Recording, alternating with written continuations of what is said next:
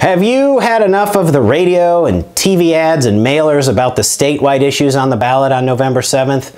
Me too. This is State Representative Nino Vitale, and I know I have written about this, but a lot of people continue to call my office, so I thought maybe a video would be good as well. If you want the short version, my recommendation is to vote no on both issues 1 and 2. But for those who would like a little bit more explanation, here's my take. Issue 1, known as Marsy's Law, is modeled after similar legislation in California.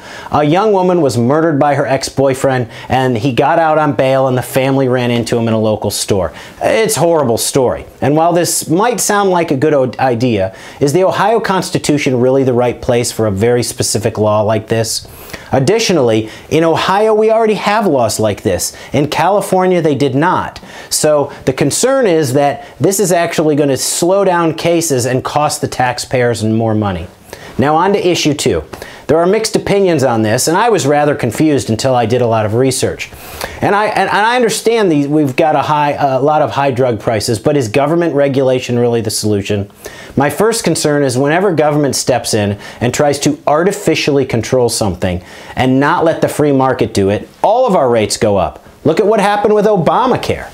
Second, with issue two, this will only affect four out of every 10 Ohioans. So 60% of Ohio will not be affected. Now, the government's picking winners and losers, and might the companies try to take that 40% lower uh, price on those drugs and increase the price on the 60% of us who aren't in that select group? To date, not one single statewide group has backed issue 2. Even liberal-minded California could not pass it.